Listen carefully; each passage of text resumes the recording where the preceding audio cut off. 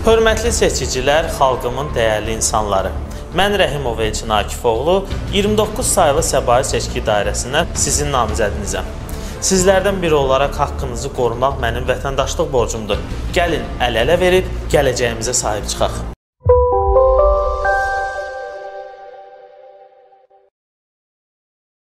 Paytaxtın Xətai rayonu Natiq Əliyev küçəsi 42 ünvanında yanğın hadisəsi baş verib. Belə ki, 17 mərtəbəli yaşayış binasının 16-cı mərtəbəsində kommunikasiya xətləri olan şitdə yanğın olub. Hadisə yerinə gələn Fövqəladə Hallar Nazirliyinin yanğında mühafizə xidmətinin yanğın söndürən maşınları yanğını söndürüb. Bir neçə şəxs isə təxliyə edilib. Faktla bağlı araşdırma aparılır. Paster ləqəbli reper Pərviz Quluzadə azadlığa buraxılıb. Məlumata görə məşhur reper ötən gün gündüz saatlarında cəza müddətini başa vurduqdan sonra cəza çəkmə müəssisəsindən azadlığa buraxılıb. Qeyd edək ki, bir ay öncə Pərviz Quluzadə Binəqədi rayonu ərazisində narkotikin təsiri altında ictimai əsayişi və ictimai qaydanın pozulmasına yönəlik hərəkətlər etməkdə təqsirləndirilərək polis tərəfindən saxlanılıb. Binəqədi rayon məhkəməsi tərəfindən reperə inzibati xətalar məcəlləsinin 510-cu və 535.1-ci maddələri ilə təqsirli bilinərək barəsində 30 sutka həbs qərarı çıxarılmışdı. Ancaq reperin oxuduğu sonuncu repə görə həbs edildiyi deyilir. İmişli şəkər zavodunun 500-ə yaxın fəhləsi işdən çıxarılıb. Buna görə də onlar zavodun qarşısında aksiya keçiriblər. İşçilər deyir ki, onların işdən çıxarılma səbəbini belə izah ediblər ki, güya ki zavodun maliyyə böhranı var. Zavodda işləyən fəhlələrdən biri deyir ki, zavodun heç bir bölməsi bağlanmayıb, amma buna baxmayaraq hazırda 450-500 nəfər işdən çıxarılıb. Deyirlər ki, maliyyə yoxdur.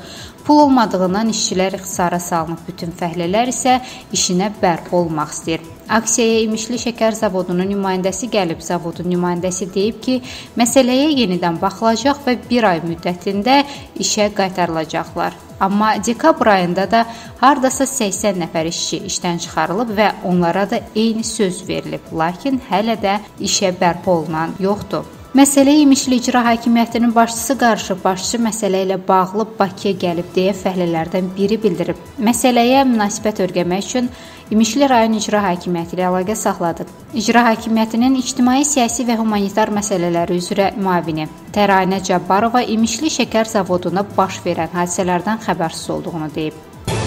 Milli Məclisin sədri Oqtay Əsədov adına Facebook səhifəsi açıb. Məlumata görə sözü gedən səhifədə 9 fevral 2020-ci ildə Azərbaycan Respublikasının Milli Məclisinə keçiriləcək növbədənkənar parlament seçkilərində Yeni Azərbaycan Partiyası tərəfindən yenidən 45 saylı Abşeron seçki dairəsindən deputatlığa namizədliyi irəli sürülən Oqtay Əsədov gördüyü işlər, keçirdiyi görüşlər, rayonlarda apardığı təbliğat, təşviqat kampaniyası barədə məlumatlar yer alıb. 15 saatdan artıq müddətə açılan səhifəni bəyənənlərin sayı isə 187 nəfərdir. Xəbər verdiyimiz kimi bu gün saat 10:00-dan Azərbaycanda kirayə mənzillərin satışına başlanılıb. Müraciətləri dəqiqələr qalsa da ipoteka və kredit zəmanət fondunun elektron ipoteka səhifəsində problem yaranıb. İstifadəçilər sistemə asan imza ilə daxil olmağa çalışsalar da sistem çöküb. Məsələ barədə ipoteka və kredit zəmanət fondunun mətbuat xidməti ilə əlaqə saxlasaq da buna müvəffəq ola bilmədik.